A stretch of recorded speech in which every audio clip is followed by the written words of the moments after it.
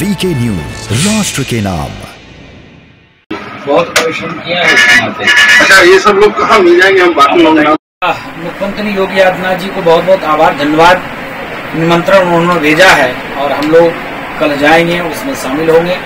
मन में एक अपार उत्साह है इसके नाते क्योंकि पुनः योगी जी दोबारा मुख्यमंत्री बनाए जा रहे हैं। योगी सबके साथ सबके विकास सबके विश्वास के साथ काम करते हैं। जब भी उनका अयोध्या आना हुआ है हनुमान जी महाराज का पहले दर्शन पूजन करते हैं।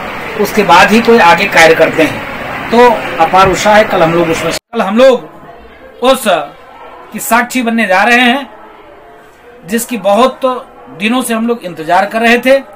हम उसके साक्षी बनने जा रहे हैं, जो सबके साथ, सबके विकास, सबके विश्वास के साथ काम करने वाले उत्तर प्रदेश के सचिव मुख्यमंत्री का पुनः दोबारा ताज टोपी है।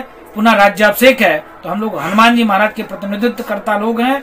हम लोग उनके तरफ़ से रोली, चंदन, माला, फूल लेके जाएँगे, उनका राज्याभिषेक कल कर सचिवालय से फ़ोन तो हमारे पास भी आया है, संगठन का भी फ़ोन आया है।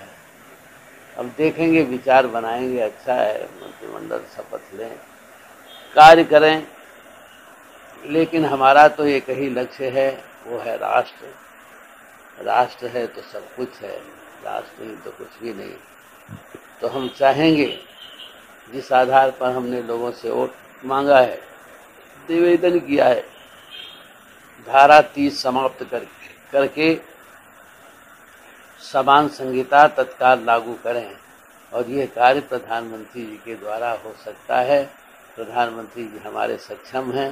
हमने इसी आधार पर वोट मांगा है और इसी के लिए प्रयास करेंगे। परम पूज्य आदरणीय श्रीमान योगी आदित्यनाथ जी महाराज जो कि दूसरी बार भारतीय जनता पार्टी की सरकार के निर्वाचित होने से मुख्यमंत्री के पद का दायित्व संभालेंगे। ऐसे में संत समाज तो हलादित है ही और जनता के प्रति जो जवाबदेही होनी चाहिए सरकार की, एक राजा की होनी चाहिए और हम लोग कल प्रातः वही